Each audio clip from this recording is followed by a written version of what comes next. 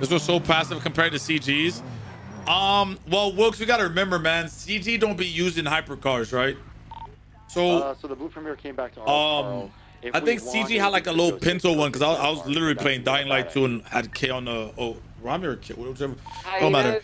On the other only a screen, bad idea, it's actually good Um, when they idea if you think switched cars, they were in like regular cars, right? Uh, are there, okay, are there any units that want to go? So they don't have hyper like so when they switch, we we going our cars can for? keep up. So we can't keep up with these cars. You know what I'm saying? I don't think we've